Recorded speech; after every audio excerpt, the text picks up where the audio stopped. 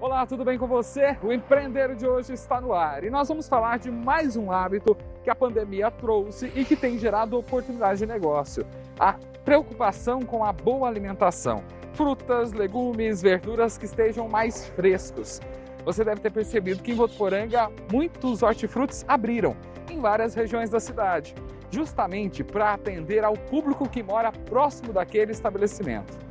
Vamos entender um pouquinho de estratégia, de mercado e do que deve vir por aí nos próximos meses. O Empreender de hoje está no ar.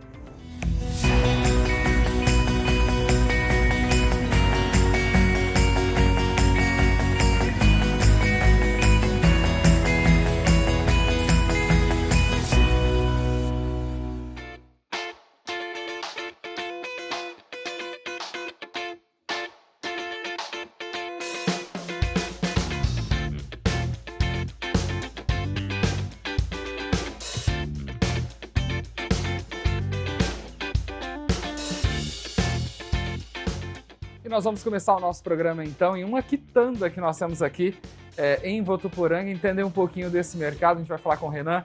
Renan, é um mercado que tem crescido muito nos últimos anos. A gente percebeu o, o interesse até mesmo das pessoas por procurar o produto mais fresco, direto do campo. O que, que vocês percebem? É, depois da pandemia, né, é, o aumento foi muito grande. A gente nem esperava todo esse aumento, né? As pessoas, eu acho que estão procurando uma vida mais saudável, né?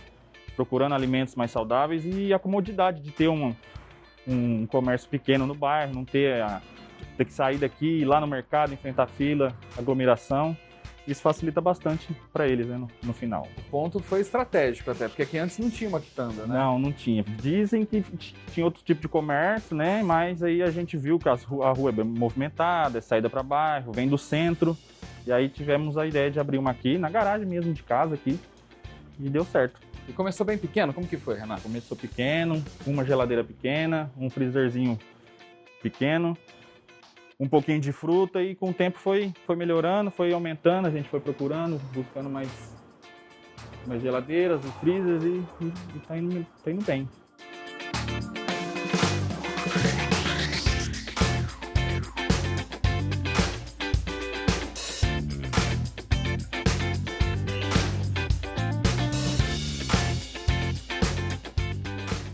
E aí vocês foram aumentando um pouquinho, a ideia foi até variar mesmo as frutas. No começo a gente começou só com o básico, né, as frutas mais básicas, só que aí com a necessidade, né, do, do pessoal pedindo, falou, oh, precisava colocar isso, colocar essa fruta, a gente foi procurando, variando, aumentando o leque de produtos, né, a gente colocou doce, tem doce de Minas, a gente trabalha com sucos naturais, o pessoal procura bastante, né, congelados, peixes, aí a gente foi variando bastante e foi acomodando todo mundo, né.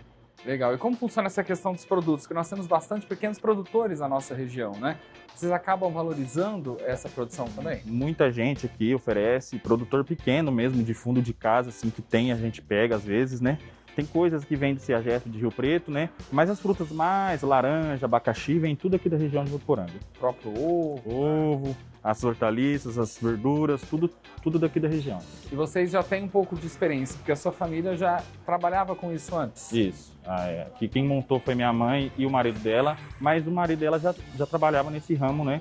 Antes, então ele já tem um pouquinho de experiência, ajudou a gente a montar e, e, e assim a gente foi, foi levando. Né?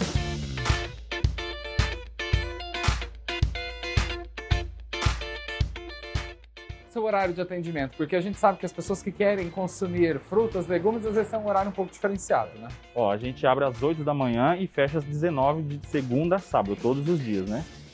Aí vocês foram sentindo isso com o público? É, aqui a pessoa já chega cedo, já quer a verdura pronta, até o suquinho gelado que ela leva pro café da manhã. Tem que estar tá tudo prontinho. A gente chega antes, né? Prepara tudo, as geladeiras, tudo para atender o cliente a partir das 8. E não tem hora de almoço, não tem nada. É o dia inteiro assim, a semana inteira.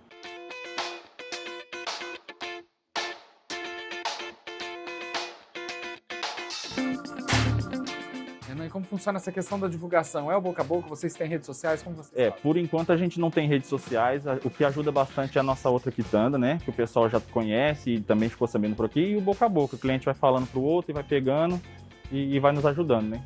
E a ideia é crescer mais? A ideia é crescer mais, expandir aumentar o espaço, dar comodidade para o pessoal, né?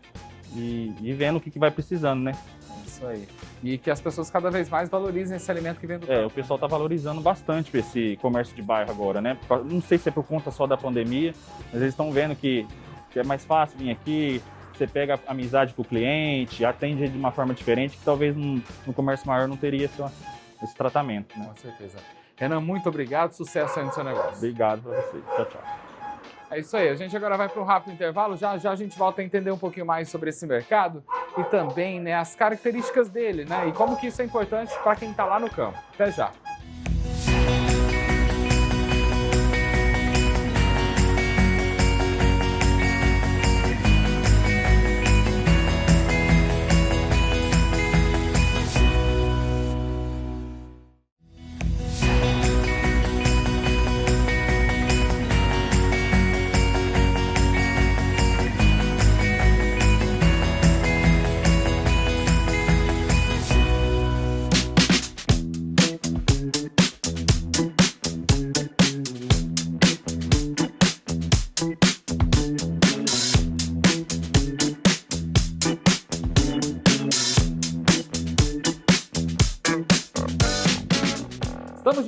Programa Empreender, hoje falando da questão de hortifrutis. Os nossos hábitos mudaram aí ultimamente, principalmente agora em 2020.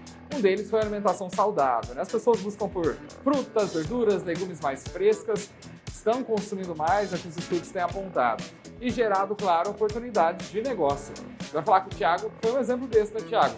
A pandemia despertou a oportunidade, foi isso? despertou uma oportunidade, a gente está abrindo esse, esse empreendimento, né? Porque a gente, a gente é produtor rural, só que com, com essa su- surgindo essa pandemia, o que, que aconteceu? Nossos contratos eles foram todos rompidos, né? A gente entregava na, na rede municipal e estadual de ensino, né? A gente fornecia merenda e com a consequência da pandemia foi rompido. Teve que parar todas as escolas, aí foi onde surgiu a oportunidade de montar. a- Legal. Foi de uma crise, então você criou. No primeiro momento deve ter sido aquele choque, né? É, foi um choque. A gente, tipo assim, numa semana a gente estava entregando toda a produção da gente, que eu sou produtor rural, né?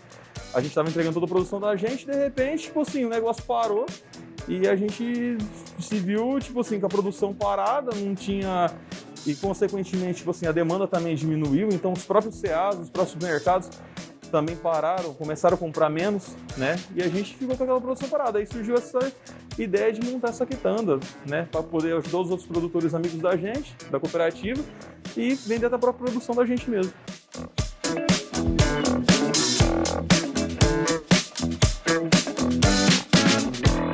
Isso aqui está na região do Pacaembu, é uma É. região que cresceu muito. Você estrategicamente escolheu esse local, como que foi? Primeiro a ideia é montar a quitanda, depois a ideia é fazer com que ela funcione, né? Como que foi isso? Cara, a ideia surgiu, meu barbeiro ele fica aqui no Pacaembu, né?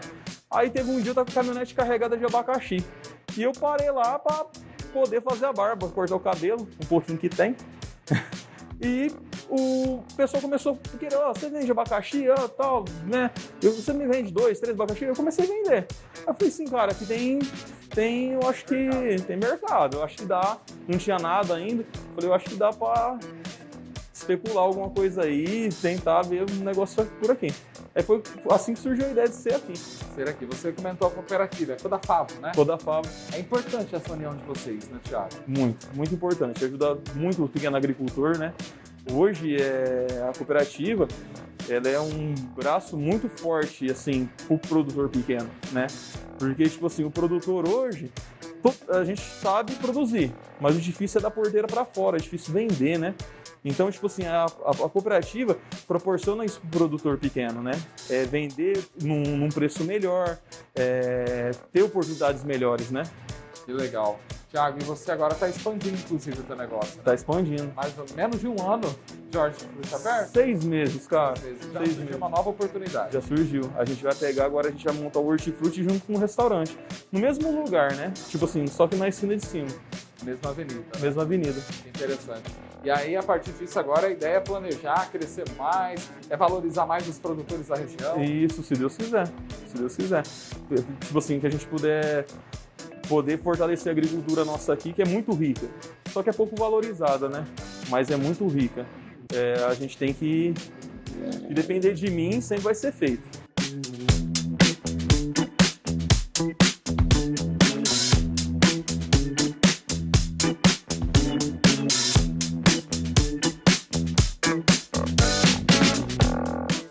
Horário de atendimento funciona como, Thiago? Porque é um público diferenciado, né? É, aqui, cara, o horário a gente, tem que, a gente vai até mais tarde. A gente abre às 8 horas da manhã e vai até às 7 e meia. Por conta do horário do pessoal chegar do serviço, né, e coisa e tal. E sábado, domingo? Sábado, não, só sábado.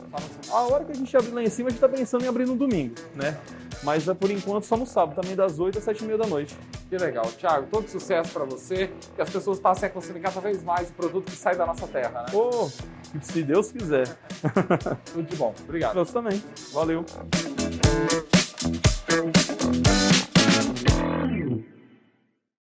Hoje estamos falando da questão dos hortifrutis, né? Isso impacta, claro, direto do campo. A gente viu aí que os nossos empresários utilizam e valorizam a produção que vem da nossa região muitas vezes. Isso é muito importante. Então a gente vai conversar com o professor Fernando Della Valle, que é do curso de agronomia aqui da Unifev. Professor, obrigado por mais uma vez participar com a gente. Eu quem agradeço a oportunidade. Professor, nós conversamos com dois empresários né, que têm hortifrutis aqui em Votuporanga e eles valorizam esses produtores locais, compram a laranja, o abacaxi desses produtores. Isso é muito importante né, por conta do ciclo. Sim, isso é importantíssimo para a cadeia, porque você está fomentando a economia da região e o setor agrícola. O agronegócio ele é muito forte, ele é pujante. E isso aí é mais um, uma força, um estímulo a esses produtores que labutam aí, tem um suor para estar produzindo, colocando o alimento na mesa do consumidor com qualidade e é conduzido, é produzido com amor. Professor, e a gente percebe que na nossa região tem muita agricultura familiar, né? Os próprios empresários aí, o dono dos hortifrutis, comentaram, conhece o dono daquela área, esposa, os filhos, todo mundo ali trabalhando na horta, né? Na, no laranjal. Sim, realmente, é uma peculiaridade aqui na nossa região, essa proximidade entre o hortifruti. Ele sabe de onde está vindo esse produto, ele conhece, conhece quem dá assistência a esses profissionais do campo, quem dá o apoio, quem dá a assessoria. E é uma própria característica territorial né, das propriedades da nossa região, que se caracterizam basicamente por pequenas e médias propriedades. E nesse contexto estão inserida a agricultura familiar, está inserido e com, logrando êxito, produzindo com qualidade, colocando na mesa do consumidor um produto fresco, que a gente observou, é, estudos mostraram, dados mostraram, não estudos, mostraram né, de que houve um aumento de até 20% nesse período de pandemia no consumo de hortifruti granjeiros. É, pela questão do isolamento, pela questão de obter um produto fresco à mesa, mais saudável, e onde a população cada vez mais está se vendo acometido por doenças, né, por moléstias e buscando uma alimentação mais saudável. E nós temos, o Brasil tem o privilégio de ser um país com grande potencial agrícola. O agronegócio é a mola propulsora desse país e aí sim, estudos da FAO indicam que até 2050 o Brasil deve ser responsável por atender 40% da demanda mundial de alimentos. Nós temos terras, a sua maioria férteis, grande, grande quantidade de terras. Nós temos um clima favorável, onde tem água disponível, temos boa intensidade solar que as plantas precisam disso, tecnologia de ponta. Então, é, isso, o Brasil tem, depende muito do agronegócio e o agronegócio tem dado a sua resposta. Tanto que na época agora da pandemia 2020, a gente viu que o agronegócio ele não parou e foi muito bom porque conseguiu deixar com que os produtos chegassem ao mercado e não faltassem no Brasil, como aconteceu em outros países. Né? Muito bem lembrado, ele não parou, ele foi sendo aquecido até no próprio mercado de trabalho. Então, na cadeia toda que envolve a participação do agronegócio, ele esteve em alta, ele se manteve em alta e o Brasil tem essa característica, conforme eu já disse. É, e é um setor que acaba, a gente acaba apaixonando. E para o sucesso do agronegócio, temos três premissas básicas. Temos um pilar envolvido, onde você tem potencial, profissionalismo e dedicação. Tendo isso, não tem como não dar certo.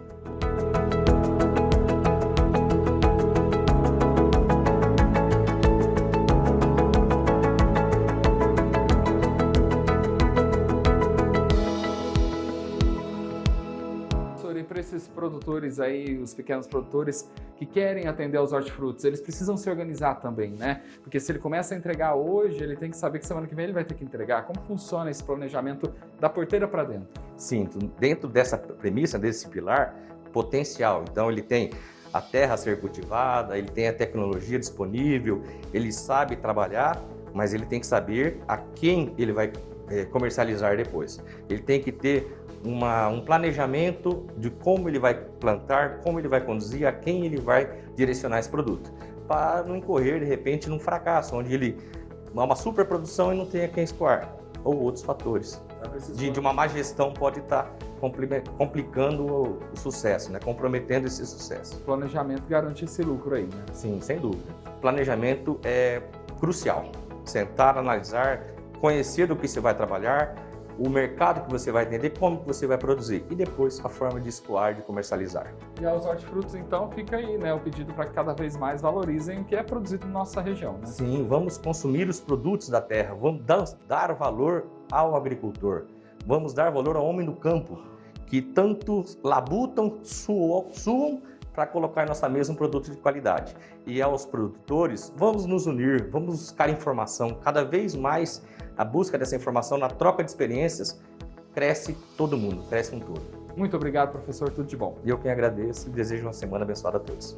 O Empreender fica por aqui. A gente continua com você nas redes sociais. Hein? Até o nosso próximo programa. Tchau, tchau.